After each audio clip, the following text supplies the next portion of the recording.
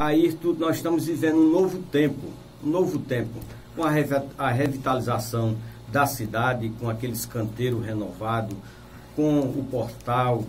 com as obras de, de infraestrutura, o ginásio que entregamos em Timbaúba, foi uma festividade, o ginásio que entregamos em Cachoeira da Moça, que eu quero parabenizar e agradecer a Fatinha pelo grande trabalho que vem fazendo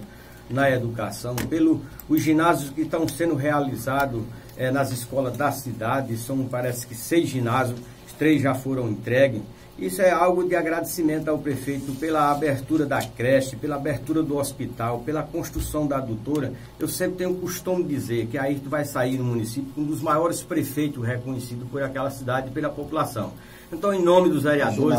aos 11 vereadores, eu quero agradecer essas obras. O ginásio do Gravatar já tem data, que o prefeito Ayrton gosta de dizer a palavra cumprir. A, é, vai ser inaugurado em dezembro e também solicitação minha do requerimento feito a encaminhar da Secretaria de Educação fazer a climatização da escola de Timbaúba e de Roça Grande, a quem eu quero aqui parabenizar a esposa de Silvano, é, minha comadre, que é a diretora daquela escola, que vem fazendo um grande trabalho, e, e também é, pela festa da criança que foi realizada. Eu quero aqui a, ah, justificar, porque o horário está corrido,